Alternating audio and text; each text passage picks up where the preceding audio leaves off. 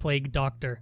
Item number SCP 049. Object class Euclid. Special Containment Procedures SCP 049 is contained within a standard secure humanoid containment cell in Research Sector 02 at Site 19. SCP 049 must be sedated before any attempts to transport it. During transport, SCP 049 must be secured within a Class 3 humanoid restriction harness, including a locking collar and extension restraints, and monitored by no fewer than two armed guards. While SCP 049 is generally cooperative with most Foundation personnel, outbursts or sudden changes in behavior are to be met with elevated force.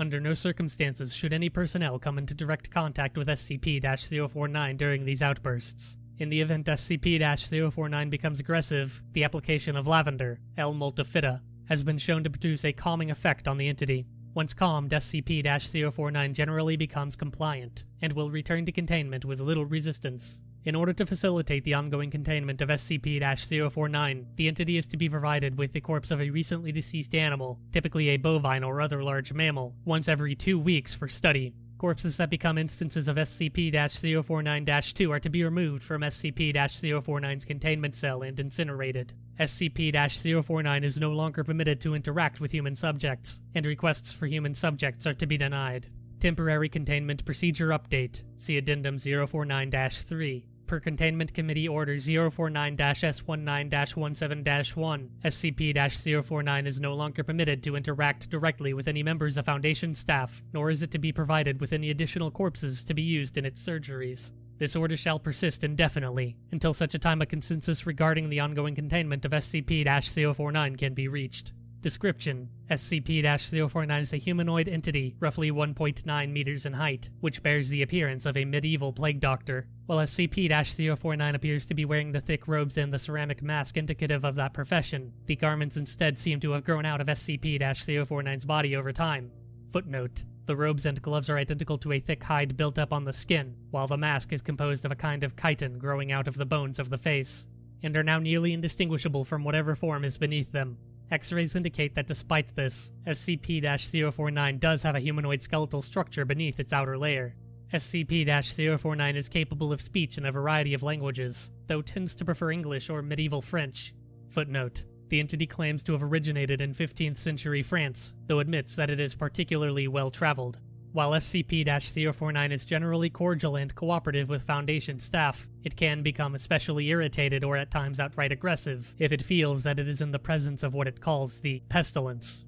Although the exact nature of this pestilence is currently unknown to Foundation researchers, it does seem to be an issue of immense concern to SCP-049. SCP-049 will become hostile with individuals it sees as being affected by the pestilence, often having to be restrained should it encounter such. If left unchecked, SCP-049 will generally attempt to kill any such individual.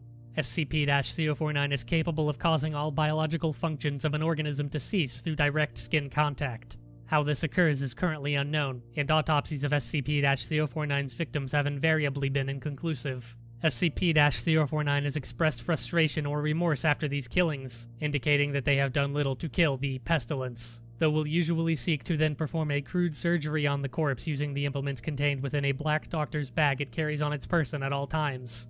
Footnote. The space within this bag is seemingly anomalously large, as SCP-049 has been observed pulling objects larger than the bag itself from within it in order to operate on deceased subjects. While these surgeries are not always successful, they often result in the creation of instances of SCP-049-2, SCP-049-2 instances are reanimated corpses that have been operated on by SCP-049. These instances do not seem to retain any of their prior memories or mental functions, having only basic motor skills and response mechanisms. While these instances are generally inactive, moving very little and in a generally ambulatory fashion, they can become extremely aggressive if provoked, or if directed to by SCP-049. SCP-049-2 instances express active biological functions, though these are vastly different from currently understood human physiology. Despite these alterations, SCP-049 often remarks that the subjects have been cured.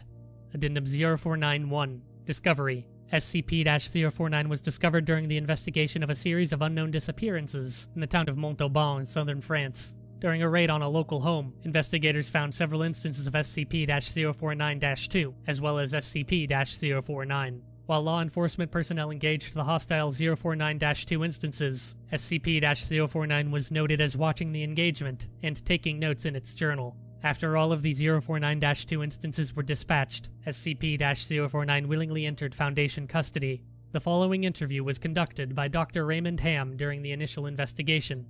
Interviewer Dr. Raymond Ham, Site 85. Interviewee SCP 049. Begin log. SCP 049 in French. So then, how should we begin? An introduction.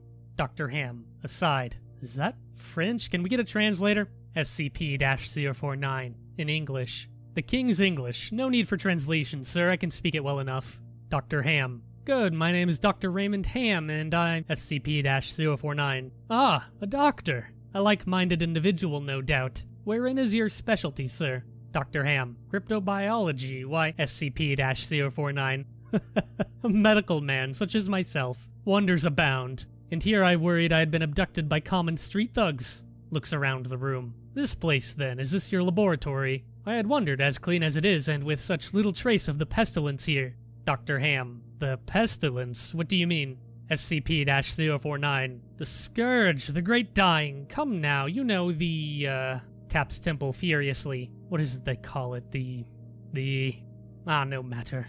The pestilence, yes. It abounds outside these walls, you know. So many have succumbed, and many more will continue to until such a time as a perfect cure can be developed. Leans back in its chair. Fortunately, I am very close. It is my duty in life to rid the world of it, you see. The cure to end all cures. Dr. Ham, when you say the Great Dying, are you talking about the bubonic plague? SCP 049 pauses. I don't know what that is.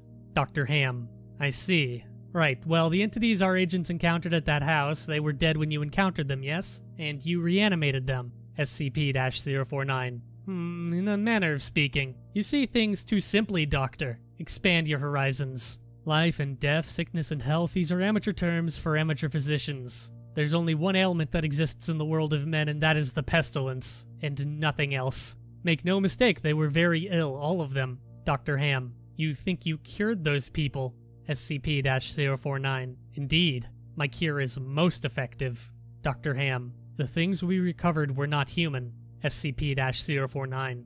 Pauses and glares at Dr. Ham. Yes, well, it is not a perfect cure, but that will come with time. And further experimentation. I've spent a lifetime developing my methods, Dr. Ham, and will spend a lifetime more if necessary. Now, we have wasted too much time. There is work to do. I will require a laboratory of my own, one where I can continue my research unimpeded. And assistance, of course, though I can provide those on my own in time. Dr. Ham, I don't think our organization will be willing to SCP-049. Nonsense, we are all men of science. Fetch your coat and show me to my quarters, Doctor. Gestures with pointed stick. Our work begins now. End log. Interviewer's note. While SCP-049 is capable of communicating in a very human way, there is a strange sense of unease that one experiences when in its presence. Make no mistake, there is something very uncanny about this entity indeed. Additionally, we've confiscated that pointed stick that SCP-049 keeps waving around. Part of this was due to standard confiscation protocols for the possessions of anomalies, and part because 049 really is a menace swinging it around like he does. The entity was displeased at first, but after we made some concessions in providing it with test subjects, which are admittedly more for the benefit of our own research, it warmed up to the idea.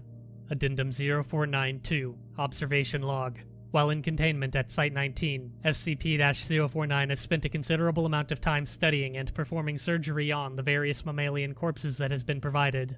SCP-049 will routinely spend several days performing surgery, and then, regardless of whether or not the corpse becomes an instance of SCP-049-2, spending several more days documenting its findings in a thick leather journal stored within its doctor's bag. SCP-049 will often seek to share its findings with members of Foundation staff. The following is a log of several occasions during which SCP-049 was observed operating on a mammalian corpse. Observational log 049.OL.1 Summary Subject SCP-049 Preface A test subject D-85123 was introduced into SCP-049's containment cell. The entity expressed sincere gratitude towards all members of the containment and research staff. Observation notes SCP-049 began by asking D-85123 several standard medical questions as it began removing tools from its bag. Shortly after finishing its preparations, SCP 049 quickly closed the distance between the two, killing the subject with a touch to its throat. Afterwards, SCP 049 made a number of considerable alterations to the basic structure of the subject's corpse, often introducing fluids from within its bag into the subject by way of a hand powered pump and copper tubing.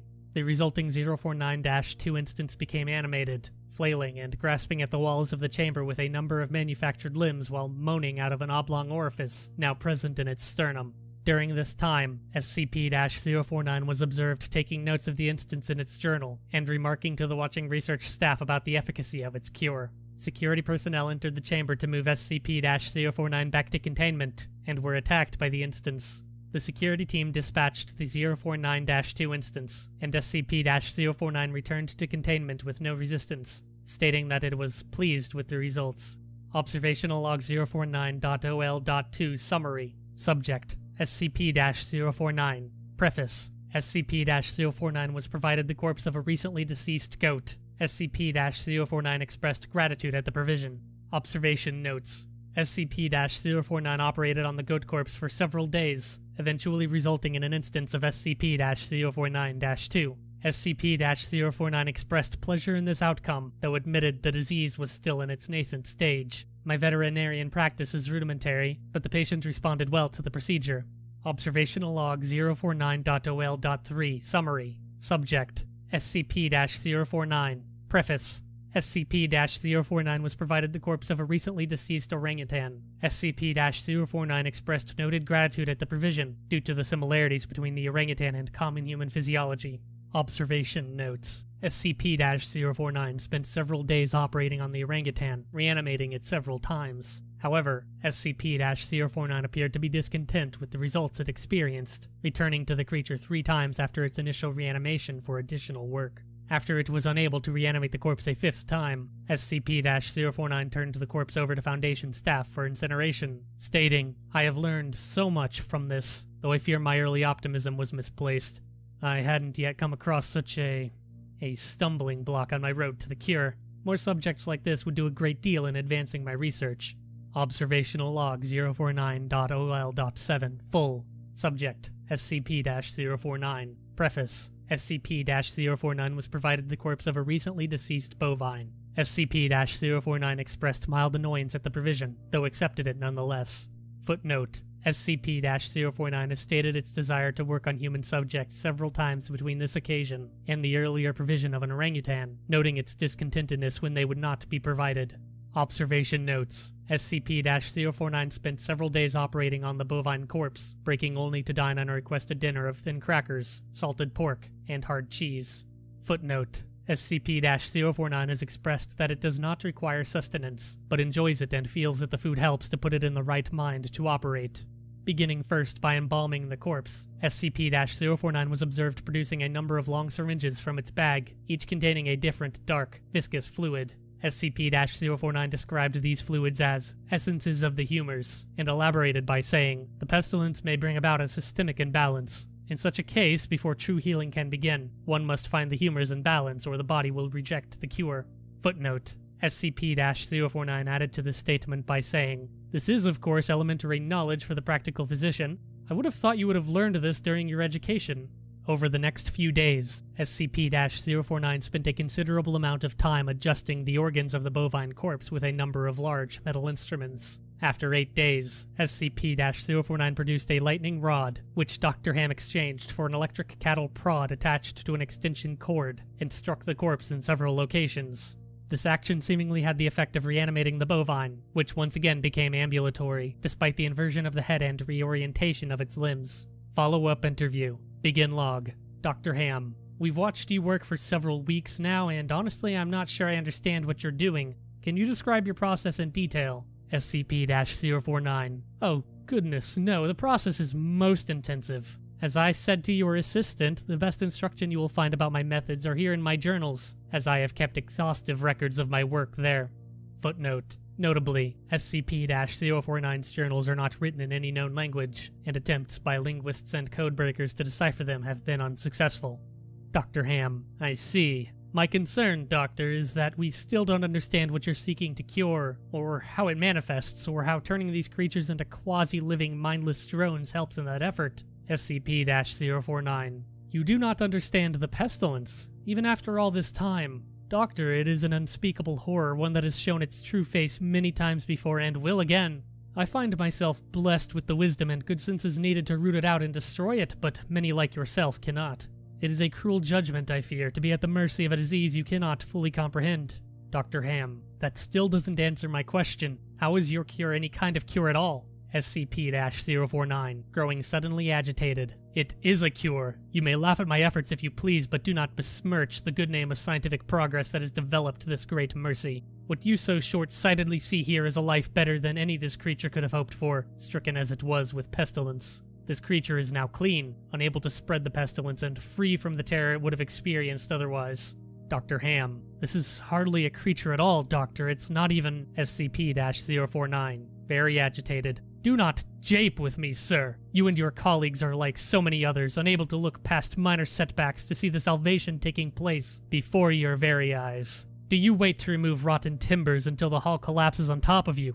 No, you find them and you pull them out and replace them with those untouched by rot. And most of all, you do not simply mock the structure because it now looks different to you. It is strong. It is free of disease. Dr. Ham, I'm sorry, I didn't mean to agitate you. I'm just trying to understand. SCP-049. Deep breath. Yes, well, do mind your words in the future, Doctor. I am a professional, but even professionals may feel the bite of pride in dealing with criticism of their masterpiece. I will forgive this as an act of good faith between colleagues. Dr. Ham, is there anything else I can help you with? SCP 049 pauses, looking away from Dr. Ham. No, that will be all. Another test subject on the usual schedule. You know my preference of subjects with more human anatomies. End log. Attending researcher's note. SCP-049 does seem to genuinely want to help other humans, though it has not yet been able to provide a concrete example of what exactly it is trying to save us all from. I have watched it now over several weeks, and while the outcomes do not seem to ever change, SCP-049 continues to claim that it is growing closer to its perfect cure. I think the entity may be more aware of the reality of these outcomes than it would like us to think. Addendum 049.3, April 16, 2017 incident. Starting shortly after SCP 049's initial containment, Dr. Ham conducted a number of interviews with the subject regarding its anomalous properties, and over time began to note its displeasure with its subjects and the SCP 049 2 instances. This continued for a period of several months, during which SCP 049 never exhibited any aggressive behaviors, on April 16, 2017, as Dr. Ham was entering SCP 049's test chamber to conduct another routine interview, the entity began to grow anxious and asked Dr. Ham if he was feeling well. Following protocol, Dr. Ham reminded SCP 049 that the interview was required, after which the entity became hostile and attacked Dr. Ham, killing him. Due to a lapse in security protocol, and because Dr. Ham did not activate the in chamber emergency system, Dr. Ham's corpse was not discovered until three hours later, by which point SCP 049 had converted it into an instance of SCP 049 2. In the aftermath of this incident, SCP 049 was interviewed by Dr. Theron Sherman. Interviewer Dr. Theron Sherman, Site 42. Interviewee SCP 049. Begin log. Dr. Sherman, I need you to explain yourself. No response. Dr. Sherman, SCP-049, you are being directed to explain your actions, and I will remind you that failure to cooperate will result in further restrictions during your containment. SCP-049 pauses. My actions do not need to be explained. Dr. Sherman, you killed Raymond Ham and then butchered him until he SCP-049 interrupting angrily. Not dead. No. Not not dead. He is he is cured. Dr. Sherman, Cured. Cured of what? SCP-049. The pestilence, sir. I had thought you, at least, would realize what luck it is I detected it before. Dr. Sherman, interrupting. What pestilence? You keep going on and on about this pestilence, but you have not once been able to properly identify this disease. What could you have possibly seen in him today that you had not seen so many times before? That it would be worth his life? SCP-049. He pauses. The pestilence presents and progresses in unforeseeable fashions and has a queer way of. of creeping into the unprepared and. breathing becomes heavier. Call it what you want, Doctor. It was a mercy I did to him. He is cured. Dr. Sherman. He is a vegetable. SCP 049. Pauses. I. I would not expect you to understand. You and your. your ilk have proven time and time again to be not men of science, but men of. of emotion. You cannot appreciate the horrors I have seen, those many millions who have succumbed to the pestilence and been changed to Dr. Sherman. Your cure cost Ray his life. SCP 049. No good, sir, I have saved it. You would allow this world to slip back into the. the. the despair of disease and death, ignoring that I have created a miracle and. Dr. Sherman, talking over SCP 049. What disease? What pestilence? He was a healthy man. He was a good doctor. SCP 049. Am offering it freely to the afflicted. You are not worth this argument, sir. You are short sighted and foolish. Dr. Ham was sick, and I. Breath catches. I cured him. I am the only one who can do this. My work must continue. There's so much still to learn, so much to. Dr. Sherman, I've had enough of this. Consider your allowances revoked. Welcome to containment 049. Away from mic. We're done here. SCP 049. Do, and others can be saved. Even you, though you do not deserve it, might be saved. I can save them all. I can cast down this plague once and for all. I can do this. Only me. I. I. I saved.